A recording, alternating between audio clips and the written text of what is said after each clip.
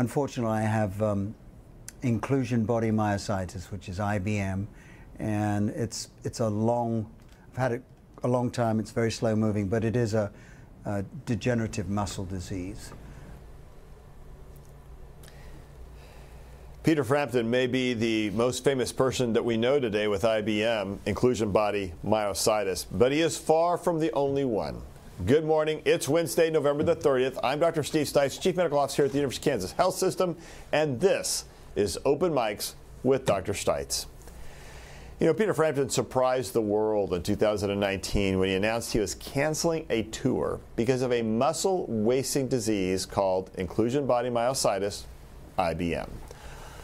Although considered an uncommon condition, millions of people are living with IBM, and we're going to meet one of the patients today, along with her physician, as we help explain this complex disease. Our patient is Jill Sondker. Pretty good, I think I said it right. Diagnosed with IBM in 2012. Jill, welcome and thank you for being willing to share part of your story today. We also welcome Jill's I'm, doctor. I'm happy to be here. You bet. Thank you. Mazen Dimachkie. I know Mazen very well. He's the director of our neuromuscular division here at the University of Kansas Medical Center. He is a brilliant researcher who's also a brilliant neurologist. Clinical neurophysiology and neuromuscular medicine. That's his well, that's his realm here at the University of Kansas Health System. We are delighted to have him on our program today as well. And of course, Dr. Dana Hawkinson, everybody says it correctly now, Hawkeye to me, Hawkeye. Medical Director of Infection Prevention Control, will join us shortly with a look at the trifecta of flu, RSV, and COVID viruses. We'll have a conversation about where we're headed on each of these, Yeah. some more concerning than others now. Yeah. So, inclusion body myositis, or IBM, is a progressive muscle wasting or weakening disease. It typically weakens the muscles of your hip and finger flexors first. That's a funny one, hip and finger flexors. Explain that one to me. Now, that's a big concern for Peter Frampton, who played the guitar. Myositis means inflammation. It can trigger a lot of weakness. Dr. Dimachkie, what does inclusion body mean in the context of this disease, and why why this thing about hips and the tips of my fingers? Sure. Uh, first, uh, good morning, everyone, and hello, and thank you, Jill, for joining us to raise awareness about this rare disease, inclusion body myositis. Um, I think that the term inclusion body got integrated within the disease roughly half a century ago with the description of the first case, which was not quite typical. But the first case had what's called inclusion bodies. And what that means is this young man who had weakness in their arms and legs, uh, when they underwent a muscle biopsy, under the microscope, it showed a couple of things in addition to inflammation. One of them was holes inside the muscle fibers called vacuoles. And in addition to that, it showed in the muscle cell body called cytoplasm uh, eosinophilic inclusions, which are pinkish looking inclusions uh, that are in the cytoplasm. And therefore, the term inclusion body myositis took off from there on. And we use this to distinguish inclusion body myositis, this finding on the microscope, from other forms of myositis. Polymyositis and dermatomyositis specifically don't have those inclusions, don't have the vacuoles. So, Dimachkie, your, your um, uh, IBM can also cause dysphagia or difficulty in swallowing. Um, your research has shown that 50 to 70 percent of IBM patients complained of trouble swallowing. Now, as a lung doctor, I know that's really bad news because when people start getting trouble swallowing, it means they can swallow stuff into their lungs. They can choke on it. They have trouble breathing. They can die. And so this is a big deal, a serious problem. Tell us a little bit more about that symptom of IBM. And I'll uh, answer that question here shortly, and I may have failed to answer the second part of your first question, I was getting back to the fingers. about the I'm fingers. getting back yes. to fingers and fingers and, and hips. Don't worry. So you start with that.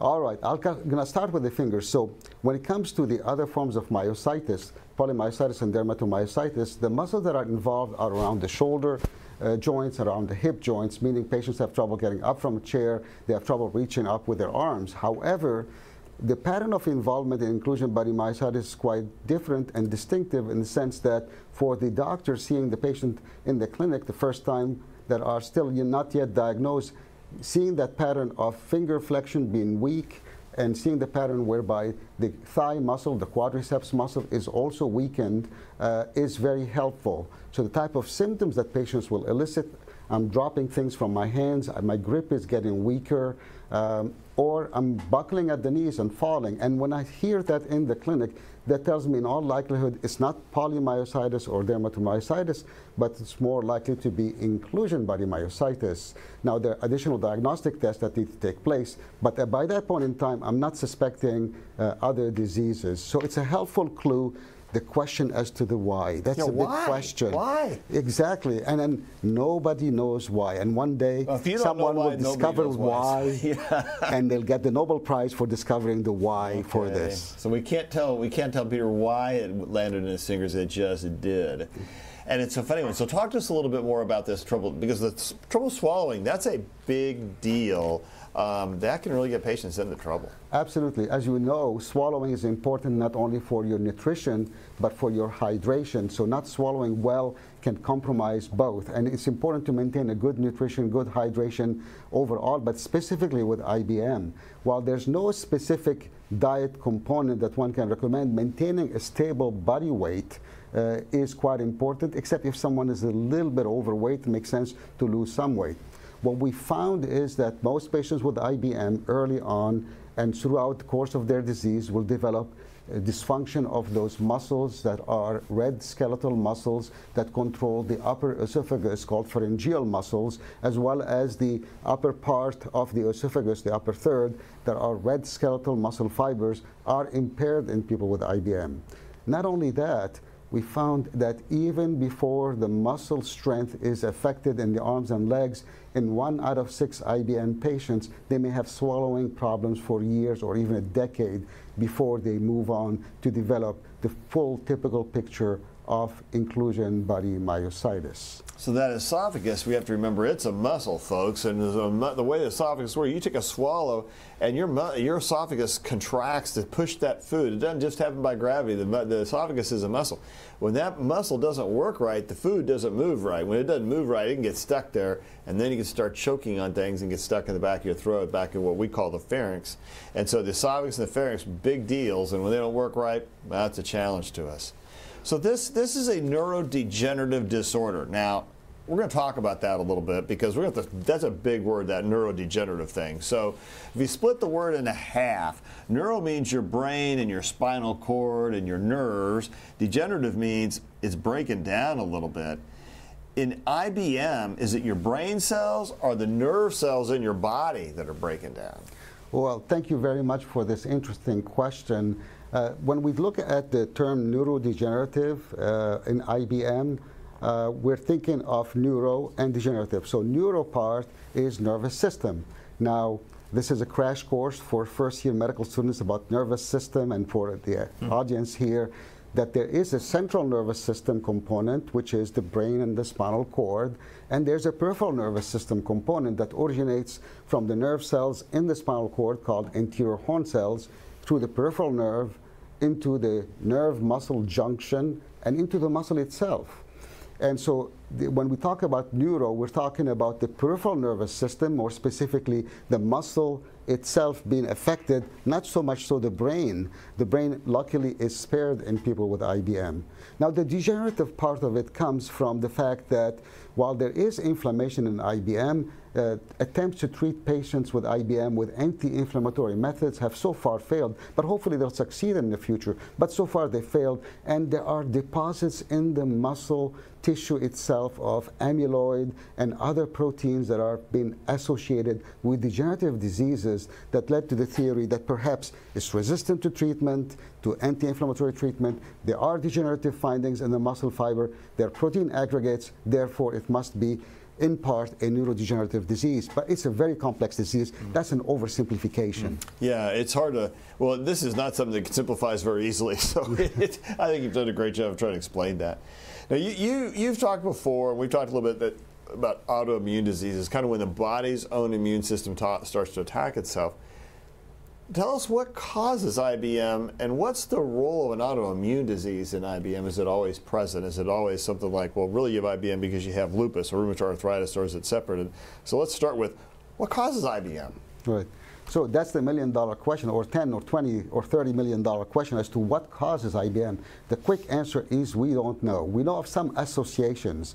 Uh, HLA is part of your immune makeup, and there are some HLA haplotypes that are part of your genes that control immunity that have been associated with more likelihood of developing inclusion body myositis. However, when it comes to associated autoimmune diseases that are outside the IBM itself, uh, the most common one is uh, Sjogren syndrome. There are others that are much less common, like systemic lupus erythematosus, sarcoidosis, uh, autoimmune thrombocytopenia that have been described with inclusion body myositis. Clearly, by far, the most common is Sjogren syndrome. Again, keep in mind that the majority of IBM patients do not have an associated autoimmune disorder. And this is one of those times in medicine where we struggle as physicians because we can't really explain things to a patient. And we all want to explain, this is what's caused your disease, and here's our answer of what to do. Too often, what we do is we say, okay, well, here are the findings. We've lumped all those findings together. We call it this. But because it's caused by different things, the therapies have to be different because we don't really understand your disease very well. And I think that's kind of what I'm hearing. This is I, IBM is sort of this manifestation of several different. It could be your genetic problem. It could be another disease problem. It could be something we don't know. There's just a lot to learn here, isn't there? Absolutely. Yeah, that's that makes it so bit challenging. Well, now you test creatinine kinase, or we call CK levels. And that's just a, an enzyme that's released by our muscles. It's a protein, and it can signal when it's really high, it can signal you have a heart attack or a muscle injury or even a brain injury, depending on what part. Dr. Dimachkie, how do you know when elevated CK levels mean it's an IBM or how do you diagnose IBM? Right. So uh, the elevation in creatine kinase in IBM is not really specific to IBM. It can occur in any muscle disease. There are some genetic muscle disorders, acquired muscle disorders that can have this elevation of CK. So it doesn't tell us specifically that this is the one diagnosis, but it puts us in the ballpark of a muscle disease. Obviously, when people hear an elevated muscle enzyme, one of the things they worry about is the heart. The heart is not affected in IBM, and the symptoms of heart attack are quite dramatically different from those of having inclusion body myositis. Yep. Patients with IBM don't come with acute chest pain, acute shortness of breath, right. uh, radiating arm pain, nausea, and vomiting like a heart attack does. And also there are some fractions of the CK, like the CKMB, which is not elevated in patients with IBM, which is more specific towards the heart, and that's helpful. But generally speaking, CK is one of the clues. This muscle enzyme leaking from destroyed muscle fibers uh, is one of the clues to tell us that this is in the ballpark of IBM, keeping in mind that 20% of patients with IBM will have muscle disease, but yet a normal CK because of advanced muscle wasting. Wow, so this is so darn complicated. And, and um, do you think this is an underdiagnosed disease? Actually, there's more of it out there than people know because it's kind of. Absolutely, absolutely. The answer is yes. I think there's a delay in diagnosis of about seven years mm. from the beginning to the diagnosis. And the, part of the issue is that this disease typically affects people that are over age 40, typically over age 60. Careful, and, you looked right at me for that one. Well, I, I got that look. Or, or, I'm looking in the mirror too. That could be. well, um, you know, uh, the, the, the thing about it is that it affects people of certain age whereby we have joint issues that develop around that time. I'm not talking about you, Steve, here, but hmm. just generally speaking. It is uh, true, though. And, and, and there are other issues that develop, and so the primary care physician typically dismisses this as part of normal aging process. You're a bit weaker in your hands, you have arthritis in your hands, your, your knee is buckling, well, you may have some osteoarthritis in your knee, so it's dismissed, unrecognized. Until then, it becomes more full-blown picture, then they refer to the neurologist and the neuromuscular specialist that is very capable of recognizing this syndrome, this complex of symptoms that really leads to the diagnosis of inclusion body myositis to the proper workup. Yeah, it's a, it's a big deal. I, I want to bring in Jill Sondker. Jill, uh, tell us a little bit how you were diagnosed and what was going on that sent you to the doctor. Sorry. You may be, there you as, go. Um, Dr. Dimachkie was um, indicating it, it probably took 10 years of visiting different doctors to actually figure out what was going on with me. I um, started uh, not being able to take the stairs very easily, and I had always been a very strong athletic um, person, and this was like very weird not to be able to go up steps. Eventually, I was going one step at a time, and you know, have to use the railing to get myself up. Then it was um, uh, falling. I fell all the time for no apparent reason. I mean, I could trip over nothing on a sidewalk, and um, and that was weird. And so I began going to doctors, and what happens then when you do that is they end up treating your your um, your injuries because I had many injuries knees, um, neck, face. I had to go to the hospital a couple of times for stitches. Um, so you concentrate on treating that, and nobody actually looks into why it is happening to you, which is which can be very frustrating. But as we've learned over the years, that it's not an, uncommon uh, for this type of um, disease to have a diagnosis that takes this long.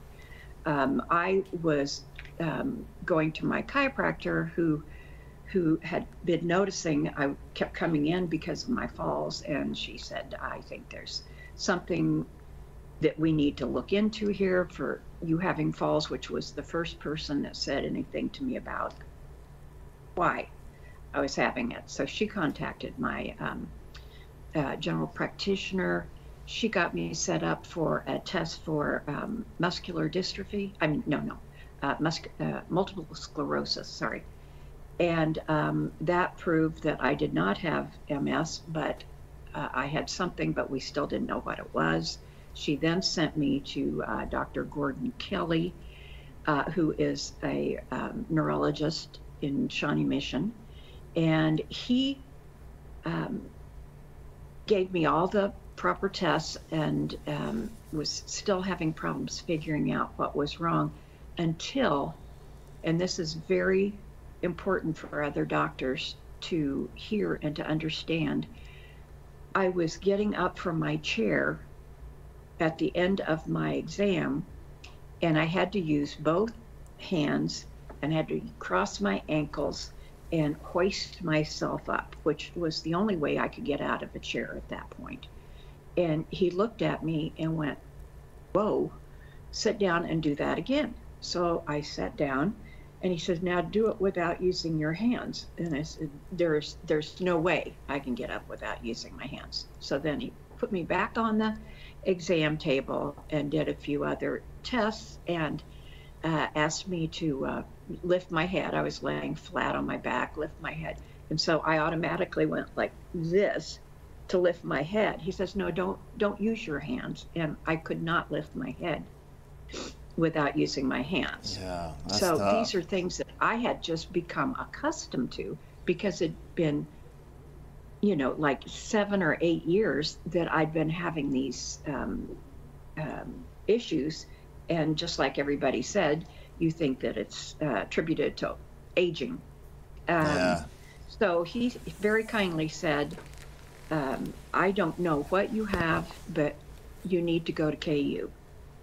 And um, he worked at getting me in for an appointment with Dr. Dimachkie. I went in with Dr. Dimachkie and within 30 minutes he had me diagnosed.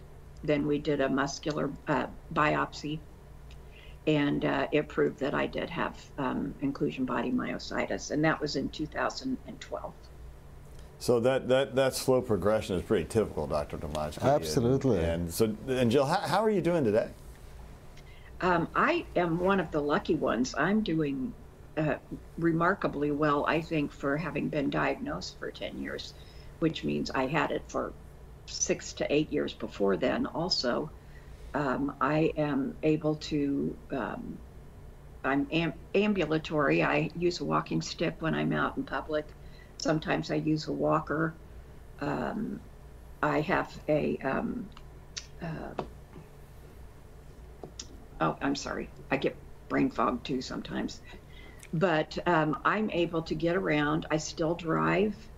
Um, but many, many, many people that have IBM have progressed much quicker than I have. I have a Yeah. um, an acquaintance that um, was diagnosed like a year after me, and he's in a power chair at this point. Wow. So now we understand So you like you to travel a lot. Yeah, yeah, we understand you like to travel a lot, and we're looking at some of your pictures that you've shared with us. And has this disease affected your ability to get out and do the things you love to do? Oh, absolutely. Um, I have cut all of my uh, travel down to just stateside. Um, I used to, my husband and I traveled extensively, but um, it's just so, and this is another thing that, that needs to be brought up. It's exhausting to travel because you're, you get up and you get down. And as I was describing um, with the uh, getting out of a chair, you have to engage every ounce of muscle that you have left to be able to get up and get down. Right. And um, so it's just exhausting, kind of harrowing to go, um, you know, on long flights. So I just have cut my travel down to the uh, visiting my grandchildren, which are in Maryland and uh, Colorado. All right. So now, Dr. Dimachkie, what treatments can you do for, for this disease? Yeah, I, I- I believe strongly in patient education. So probably Jill can take that question, but I'm not going to put her on the spot. Um, so uh, I, I think that uh, in patients uh, that present with inclusion body myositis, uh, sometimes I see uh, people overdoing it when it comes to exercises. So it's important to exercise. It keeps your muscles healthy, we think, for a longer period of time, and therefore perhaps slows down the trajectory of inclusion by myositis. Instead of going down like this, maybe it'll flatten it out a little bit. But it's important not to overdo it. So what's not to overdo it is kind of a very subjective term. So we try to make it quantitative. So we talk about what's called mild to moderate intensity, low repetition, uh, non-fatiguing exercises. So mild to moderate intensity means if someone can pick up 10 pounds and do a single contraction of the biceps, for example, can do it, but yet it- when they go to 11 pounds, they cannot do it. 10 pounds is that single maximum contraction. However, you don't do that. You take that number of 10 divided by half. That is mild to moderate intensity. Low repetition means 10 repetitions. You cycle three times through the muscles. And non-fatiguing meaning the next day there's no experience of fatigue or weakness or jelly-like feeling in the muscles or pain in the muscles, as that indicates destruction of muscle fibers which have trouble regenerating in IBM. So that's what we recommend. And unfortunately, uh, treatments that are immunosuppressive, that deal with inflammation, treatments that have tried to attempt to deal with uh, the protein aggregates so far have not been successful in IBM. So the treatment mainly is to eat healthy, though we're not sure about what that means exactly, but exercise on a regular basis, commensurate to the health of the muscle fibers themselves. Okay. So you do some. How do you know? How do you know if you're getting worse, and you should go get seek and figure out this is what you got, or how is it just normal aging? Like I don't get out as easy today as I did 20 years ago. Right. So uh, it's quite different from normal aging because if you uh, look at it closely, people will describe things like, well, when I'm trying to get up from a chair, as Jill indicated, I really have to use my arms to push myself up. Now, if you touch the armrest just for balance, that's different. If you touch the rails going up the steps just for balance, that's different. If you're having to grab the rails to pull yourself up, that's an indication of a muscle weakness, a muscle disease, and that would be one of the first clues that you're dealing with a disease like IBM so that you don't have to get to wait to the point of debuckling and falling to discover, yes, I have IBM. So hopefully with programs like this, but other educational programs we're doing, we can raise awareness of with IBM and people can get diagnosed earlier on. And so one of the questions would be, you you do a lot of clinical research and research in general. So what's the research look like in IBM? Well, uh, as far as IBM goes, um, and in general in neuromuscular disease, I'm proud to share with you that here at KU we have one of the largest, if not the largest, clinical trials unit in North America. So patients with IBM will have not to go anywhere else but to KU to come uh, for access to clinical trials. So if I look at the last year, this last year, we have six studies in IBM alone that are ranging from completed to started or starting in the way of studies that will help people with IBM. So uh, I think participating in research is very important. Uh, there are a lot of exciting uh, studies going on right now. So if you're interested, just reach out. We'll be happy to uh, have you explore your opportunities for research here at KU. Yep. All right, we're going to get to some questions from the community next, and and see you want you to send those to us on YouTube, Facebook, the Medical News Network, and now Twitter. The links are on your screen. But first, we're going to check in with Dr. Hawkinson. Doc Hawk. Yeah. How are things looking? Well, you know. They're not too good. We wish they could be better for sure. COVID count right now, we've gone up just a little bit 27 active infections in the hospital, five in the ICU, no, which is un, uh, unfortunate. One on the ventilator, still uh, 16 in that recovery period as well. So, um, just as we had talked about earlier, overall cases um, in the United States have been going up. Um, we know that hospitalizations follow that, but we know right now it seems like our hospital cases are trending up as well. They are trending up. And if we can show the heat map for just a second, can you guys have the heat map? Yeah.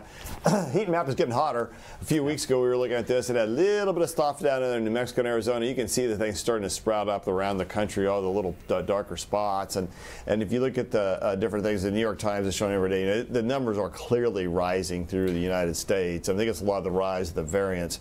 Yep. At the same time, influenza, influenza is a challenge. Uh, Hawk, talk to us a little bit about that. Yeah, and I did want to mention because you did talk about uh, the variants. So right now, probably BQ.1 and BQ.1.1, uh, I believe, are probably the highest proportioned variants around the United States. We know certainly in our community that is increasing as well. Unfortunately, then, what that means is there is probably little to no activity of the monoclonal antibody treatment bebtelovimab, and also likely very little to no activity of the Evusheld monoclonal antibody preventive medication as so well. So those things may not be as helpful with this round of COVID, and that can Absolutely. mean bad things for people with transplants and yep. other things who are more immunosuppressed. So I just yes. people have to be thoughtful about that. We've said before, look, just go get early treatment. Right now, we don't have early treatment for the for this new variant yeah. and or new, the new couple of variants, and so that's that's going to be a bit of a challenge this winter, I'm afraid. That's why getting tested early. Eh, we still have activity of the antiviral drugs remdesivir and Paxlovid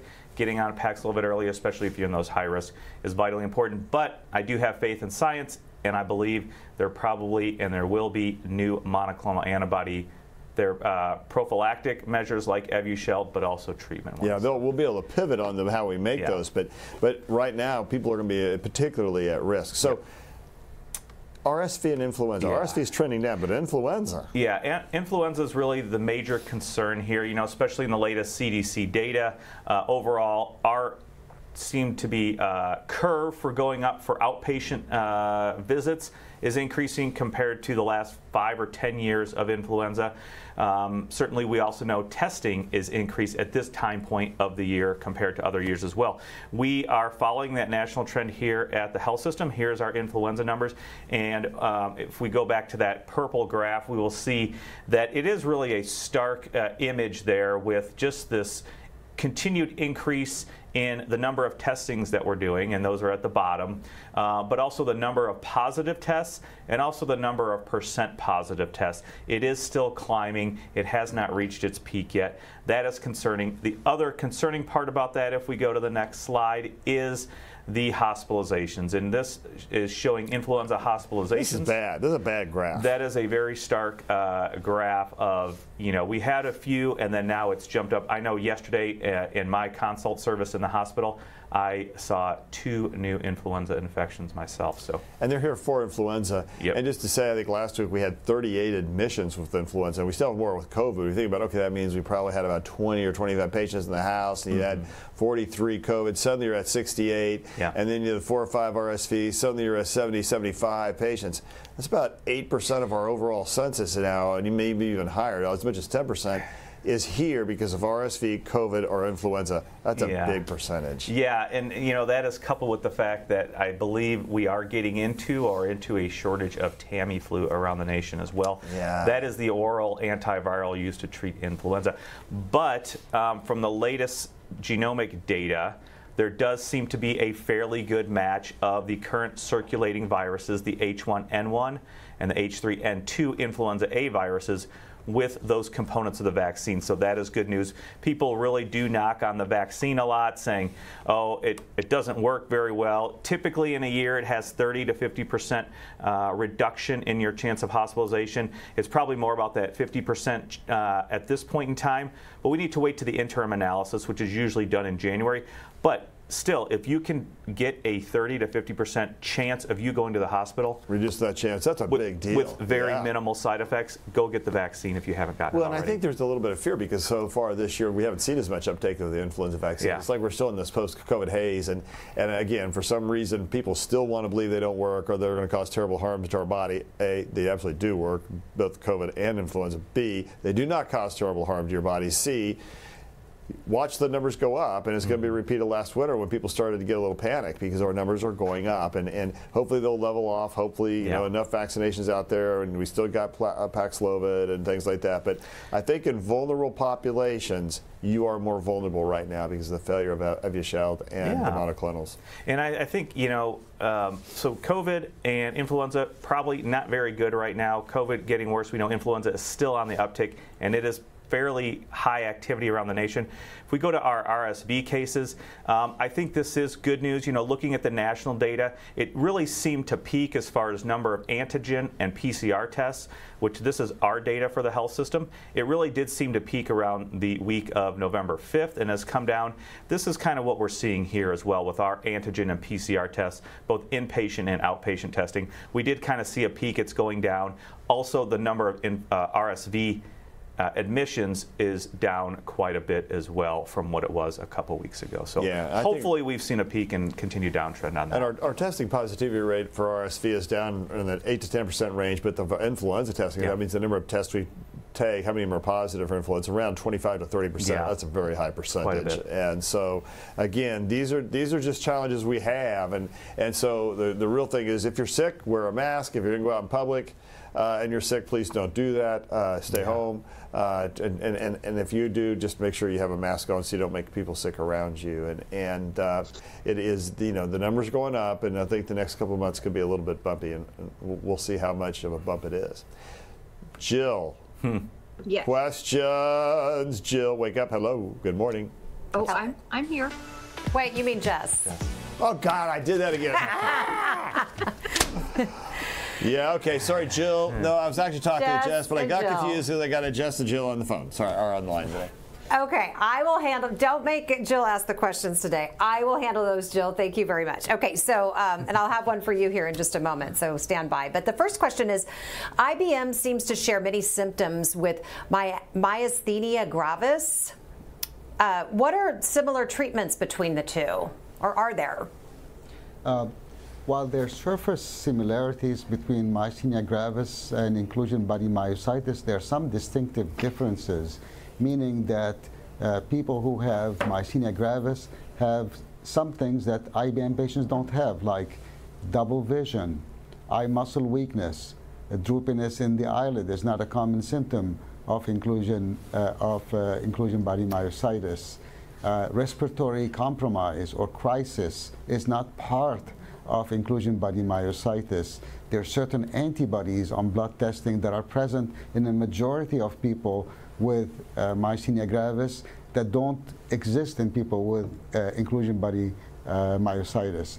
Therefore, uh, myasthenia gravis and myositis on the surface can be similar but are quite fundamentally different. We understand the pathogenesis or the cause of uh, myasthenia gravis to be antibody mediated. We don't fully understand the cause of IBM. Therefore, the therapies that work very well for myasthenia gravis, and there are many novel therapies that have come out in the last couple of years, uh, those have not been tested in IBM, and I'm not sure how well, as a prediction, they would work in IBM given the lack of uh, full understanding of what is the chicken and what is the egg. Is it the immunity or is it the degeneration or is it both? All right. Jess. Uh, Martin wants to know, Jill, if this runs in your family. Had you ever heard of IBM before? No, never. And um, it hasn't run in my family. Um, it this just started with me, and we hope it ends with me. Um, yeah, it's I'll take I'll take take it for the team. Yeah, But, Mazen, does it I tend to be a wouldn't- I wouldn't wish it on Sorry. anybody. Yeah. Right. Does it tend Uh, to be uh, genetic? there is a condition called hereditary inclusion body myopathy that's totally different and separate from inclusion body myositis. And that is like less than 1% of people who have this phenotype of inclusion body myositis may have that. But we're able to clearly distinguish that phenotypically, meaning the weakness pattern is quite different and distinctive. So that, yes, there is something of a genetic variant, but the majority, 99% plus of the cases, are sporadic. They're not transmitted from generation to generation. I, I think what this means, Mazen, is we got to teach neurologists how to do a better job of naming things so they don't make them so darn confusing all the time. Angela wants to know can any medications lead to IBM? Uh, medications do not uh, trigger inclusion body myositis. Yeah, they, this whole thing about how the disease was the, with that those um, uh, amyloid uh, uh, proteins things inside the cells. That's not a result of a medication. That's a No. disease process in the body. Yeah. And a question for Jill is from Sandra. She wants to know how your lifestyle, maybe um, your physical activity or your diet, has any of that changed um, due to this diagnosis? Well, my lifestyle has changed dramatically because um, I, it, the minute I walk into a new environment, I, I initially scope it out and see where I can sit or if I can sit, because most places, even wonderful doctors' offices at KU, have lower chairs, and um, I will spend lots of time just standing because I cannot get up without assistance. Um, I'm trying to think. Let's see what else. Uh, it, all sorts of things um, are affected uh, by just not being able to get in or out of a vehicle. Like I, I can't get out of a, a sedan, say. Uh, so I have to ride in a, a SUV or a, a minivan um, just little things like that. You just have to take into consideration whenever you go anywhere or do anything that this is something that you have to um, be concerned with. Uh, Jill, another question is, you know, when people have a diagnosis like this that comes out of the blue, you never even heard of it, you have this very active lifestyle. A lot of times it's hard to kind of keep mentally sound um, when you're going through a diagnosis. What advice do you have for people that, um, you know, that are taking care of their mental health as they're as they're also trying to take care of their physical health when something like this occurs? Well, I think uh, one of the things that I found very helpful was being diagnosed. It was like finding out what in the world is going on with my body and why are these things happening to me. Once you have, you know, knowledge is power, once you have that, then I was able to eventually um, stop falling so often because I knew my body was fatigued and that eventually was going to happen if I kept pushing myself.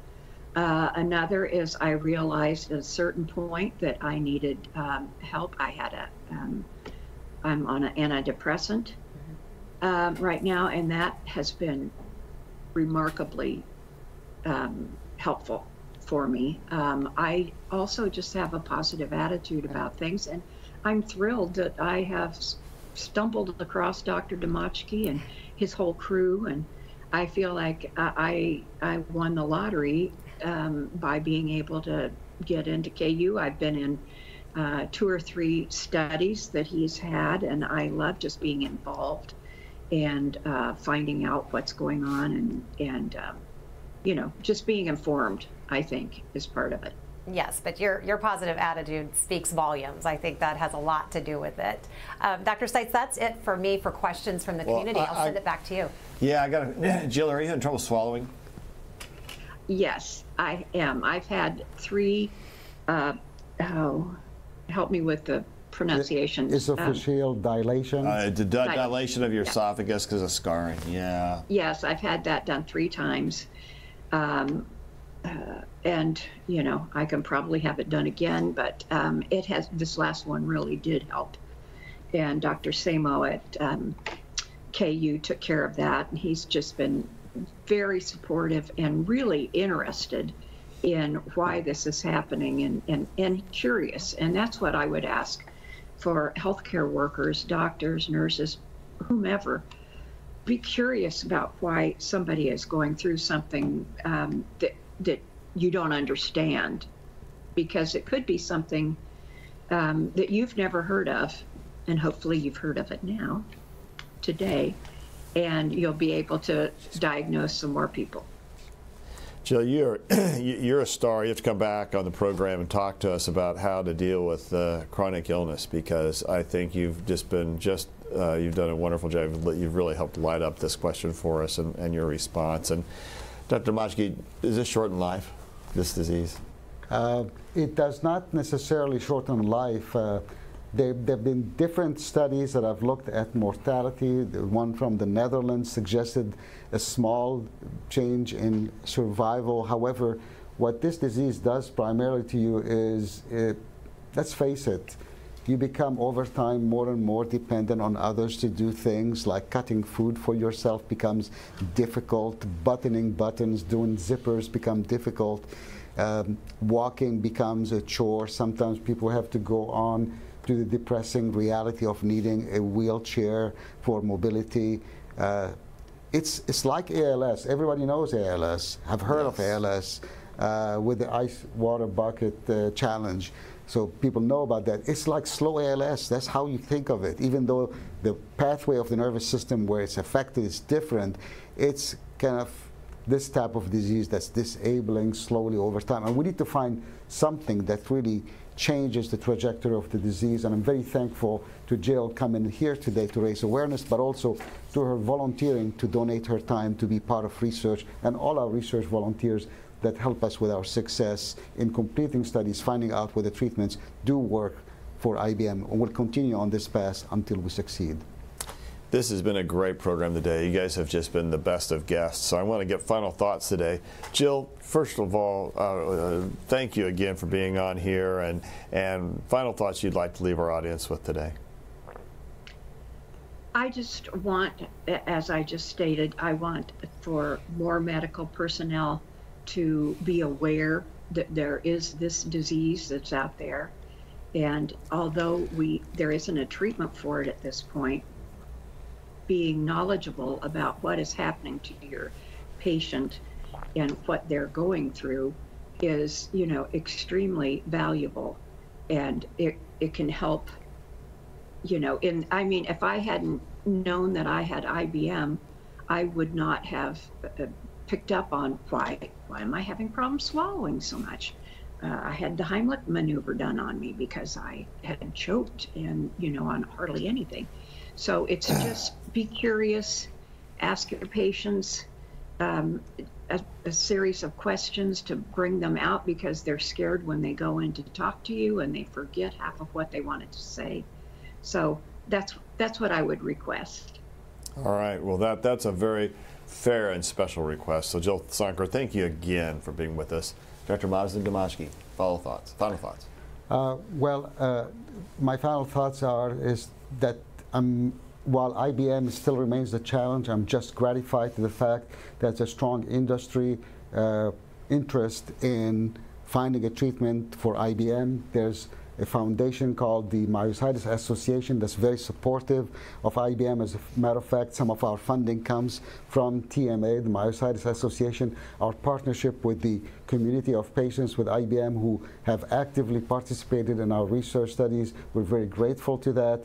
So we'll continue on this path and hopefully one day we'll be able to say, now we've changed the disease course and we can help people with IBM. That's the ultimate goal to help improve the lives of people suffering from IBM. Thank you. Well, thank you, and thanks for being on this program. Doc Hawk, final thoughts. Yeah, you know, we've talked about uh, the triple demic.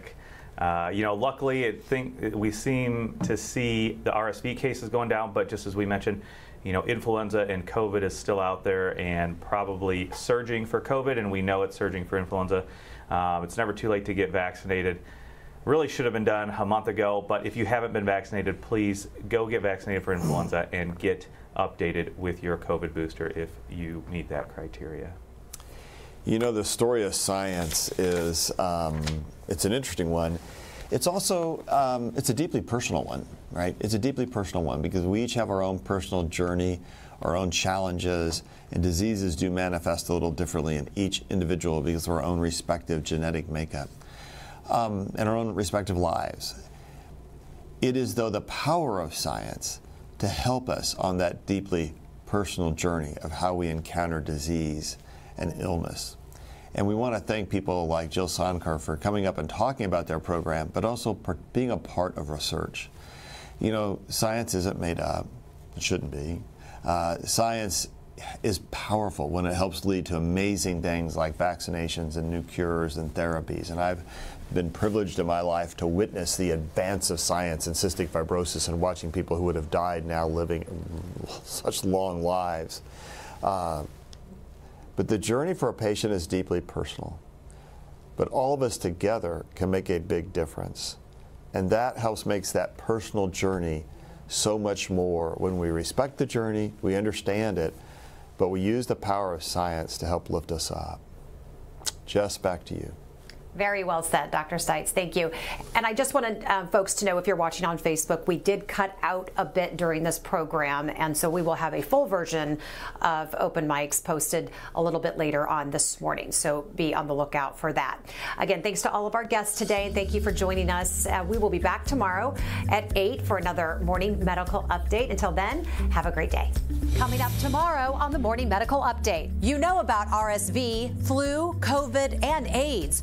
But do you know about the other infectious diseases that keep doctors up at night? I'm Jessica Lovell. On Thursday, our panel of ID docs talk about emerging diseases that world experts are watching. Plus, it's World AIDS Day. We meet an HIV positive man who's trying to break down stereotypes and stigmas. See you at 8. I'm Alexis Del Cid, next on All Things Heart. I didn't realize how bad I was. The first thing his doctor asked him, How are you still alive? Why his doctor says he wasn't about to let age stop him from getting a new heart Thursday morning at 10. Subscribe to our morning medical update and open mics with Dr. Stites podcasts. Now, everywhere podcasts are available.